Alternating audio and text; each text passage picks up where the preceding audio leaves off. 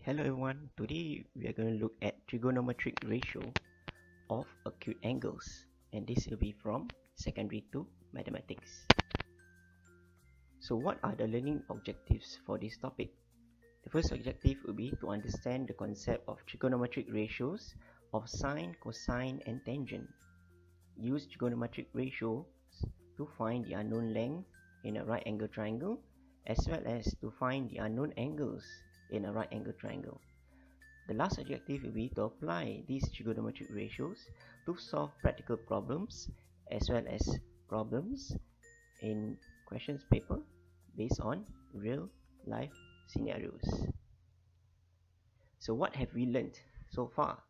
We have learned about Pythagoras theorem where a square plus b square equals to c square.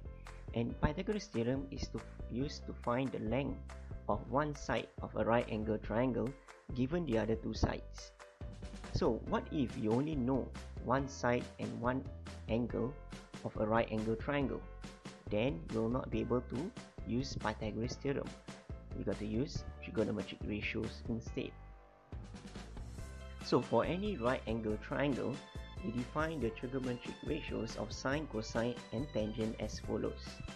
So given a right angle triangle and we have an unknown angle theta with unknown sides A, B and C, we can name in such a manner. We can name the side A as opposite side to the angle theta. So in short form O. O stands for opposite. And B, the side B will be the adjacent side to the angle theta. So it will be A. And lastly, the hypotenuse H will always be the longest diagonal line in a right angle triangle. So the hypotenuse will always be the longest diagonal line, but the adjacent as well as opposite side may switch if the unknown angle theta is here. If the unknown angle theta is at the top, then side B will be the opposite side and side A will be the adjacent side. Alright, so remember this uh, acronym TUA, KA and SO. So TUA, KA, SO is actually in Hokkien means big-footed woman. So you just remember TUA, KA, SO. So how do you use TUA, KA, SO in trigonometric ratio? So TUA means you have to use tangent theta. Okay, tangent theta, you can find it on your calculator as well as cosine and sine on your calculator. There's a tan, cos and sine. Tangent theta will be equals to the opposite side out of the adjacent side. So to use tangent theta, you must use opposite out of adjacent. What about cosine theta? Cosine theta, you need to use adjacent out of hypotenuse. While sine theta, you got to use opposite out of hypotenuse. Okay, so have to follow this rule uh, closely. Okay, so before that, before we use tangent, cosine, sine, let's do practice one. So find the values of each of the following, giving the answer correct to four significant figures. So we have five questions for you to try. So you just need to click on your calculator tangent 48 and then question 2 will be sine 56 followed by cosine 65 sine 87.2 and cosine 12.8 okay so you should get these answers. Right so I leave it as 4 that in 4 uh, significant figures next Okay, practice 2. How do you find the angle theta in each of the following? Give your answer in degree correct to one decimal place. So we have sine theta equals to 0.25, cosine theta equals to 0.4, and tangent theta equals to 0.785. So you got to use, to find theta, you got to use sine inverse 0.25. Okay, cosine theta equals to 0.4, use cosine inverse and lastly tangent inverse so you got to use your second function on your calculator to, to, activate the sine inverse, cosine inverse and tangent inverse. Okay, you get the following answers.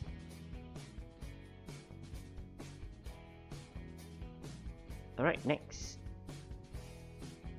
Okay, find unknown sides of a right angled triangle. So find the value of the unknown in each of the following. So we have A, B and C. Uh, triangle ABC. We have X as the unknown side. The angle will be 40 degrees and the hypotenuse will be 15 centimeters. So first you need to label the sides. So we have H for hypotenuse, O for opposite side and A for the adjacent side. So we see that we want to find X and we know uh, H. So O and H. So for O and H, we got to use sine theta equals to opposite out of hypotenuse. So sine 40 degree is equal to opposite is x out of 15. So x is equals to 15 sine 40 and this is equals to 9.64 centimeters. Correct to three significant figures. Okay next. Part B. Now we have triangle XYZ it is a right angle triangle. Okay so the angle is 58 degree. The side is A and hypotenuse will be 18 centimeters. So label the sides first. Adjacent opposite and hypotenuse so we want to find A we use A adjacent and hypotenuse so we need to use cosine theta is equals to adjacent out of hypotenuse so cosine 58 is equals to A out of 18. So A is equals to 18 cosine 58 and this is equals to 9.54 centimeters.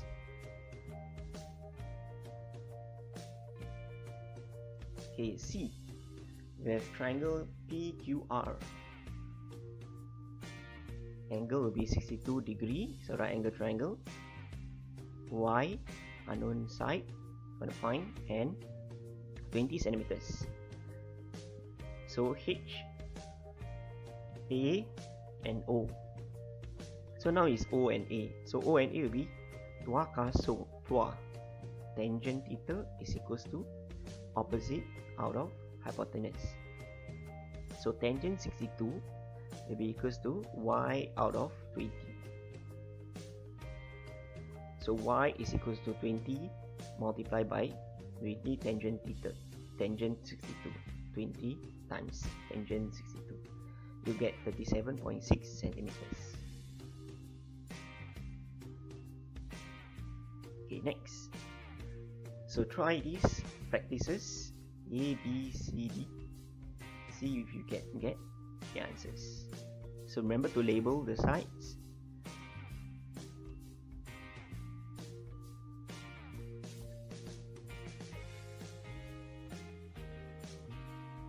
So these are the answers.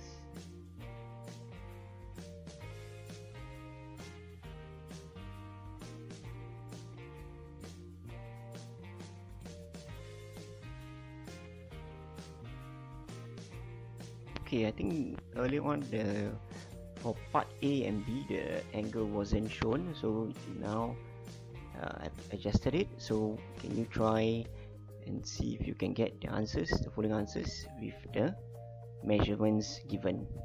Right okay next. Okay practice 2 okay this is a word problem based on uh, the use of trigonometric ratio.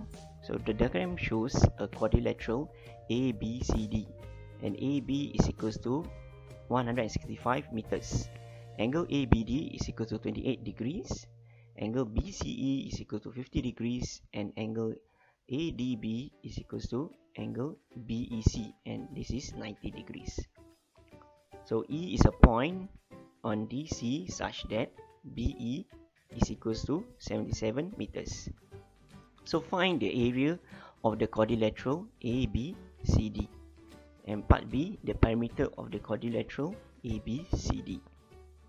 Okay, so first for part A sine 28 is equals to AD out of 165 so you find AD AD is 77.4628 meters next you find BD so BD is equals to 165 cos 28 degree.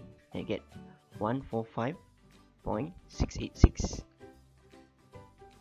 okay next you find the area of ABD so ABD is equals to 5642.6227 square meters. So you already know angle ABD next you can find the other area so you can you already found the area of ABD next you find the, the other area. So you find EC first. The length of EC is equals to tangent 50 degree is equal to 77 out of EC so EC is equal to 77 out of tangent 50 and this is 64.61 then you find area of BEC so BEC is half times 77 times 64.61 and this is equals to 2487.485 square meters. Next you find DE how to find DE use Pythagoras theorem. Okay BD square because you already know BD BD square is equals to BE square plus DE square so DE is equals to 123.6746 meters. Okay then lastly you can find area of BED so BED is equals to 4761.4721 square meters. So once you already find the area of the three triangles you add them together you can find the area of the quadrilateral ABCD you get 12,900 square meters in three significant figures okay now you need to find the perimeter so you already know the length of BA, AB, the AB, you already know AD, you already know DE and EC. So you are left with the length of BC. So BC is sine 50 degree is equals to 77 out of BC. So BC is equals to 100.5164 meters and you add all the sides together and you get 531 meters correct to three significant figures. So you got to do one at a time. Make sure you store the memory for the measurement and then at the end then you correct to three significant figure. Okay so this is a simple flowchart.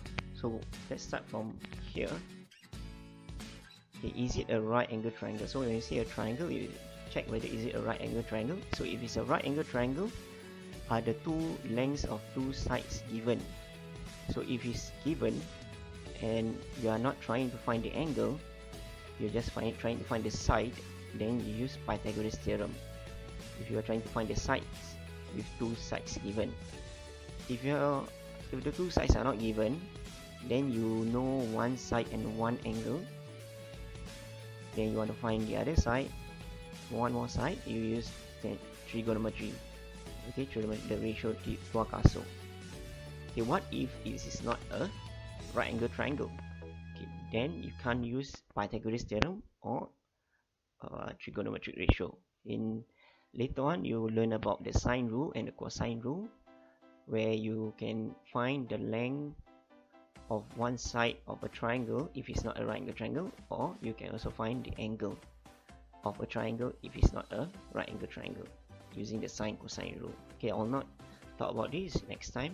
When you learn about this uh, in another video i'll talk more about this topic.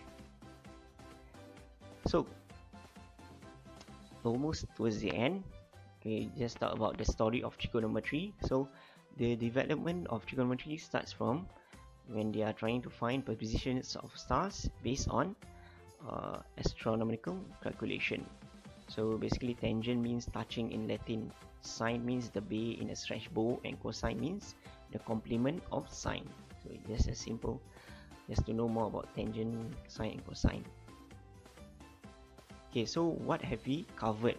We just covered two of the learning objectives in this topic. The concept of trigonometric ratio as well as to find the unknown length. Right, in another video, I'll continue on the unknown angles and how to use trigonometric ratio to solve practical problems as well as questions in your exam paper. Okay, that's all. Thank you very much. Have a nice day.